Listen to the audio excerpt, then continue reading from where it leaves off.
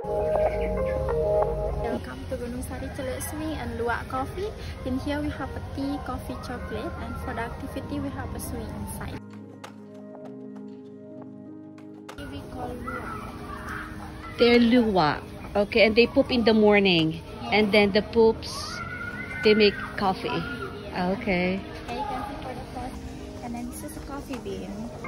The poo come like this, but this one no smell because already dry. This one not clean and a long process. I will open one by one by hand. This one, this is the poo.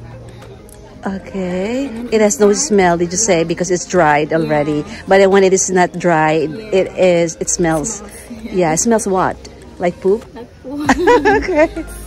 So this is now the coffee bin inside the poop of that animal before, before clean. before you clean it. Yeah, and then the first, put here. The process, you put it there.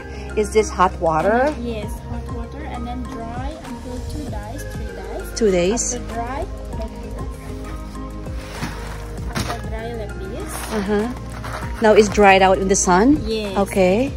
And then after that, we will roasting here until 45 minutes. 45 minutes roasting. Until like this. The real roasting of that coffee. Yeah. You want to a photo? Roasted? Yes. So this is uh, roasting the Luwak coffee. That coffee from the animal poop.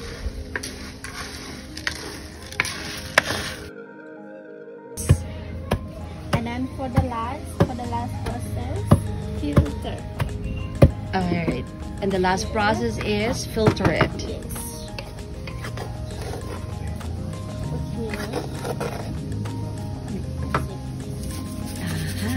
Ah, can you try that? Yes. Filter it like that. Yeah. Okay. And then what happens with those? We One. put here again. Oh, okay. You put it back Yeah. until it's fined and refined. smells good.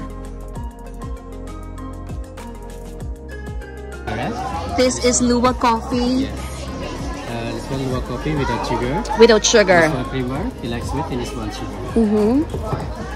Thank you. Okay. Tasting of Luwak coffee. We saw the process from uh, start to finish.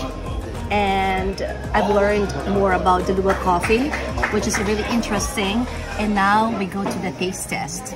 This is black. I can put sugar and creamer if they like, but because I drink black coffee, I think uh, I'll try the black coffee first.